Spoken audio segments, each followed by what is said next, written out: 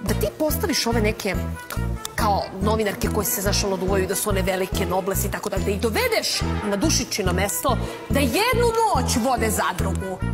Pa one bi se po, kao bose po trnju bi prošle. Ništa, Evo, zato što ti moraš da budeš, raspale bi se.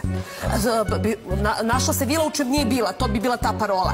Ti moraš da budeš spreman na svaki odgovor tog učesnika. Ti nikad ne znaš kako će on odreaguje. Ti učiš spontanost u realitiju. Da budeš normalan, spontani opušten čovjek. Tako je, bravo, bravo.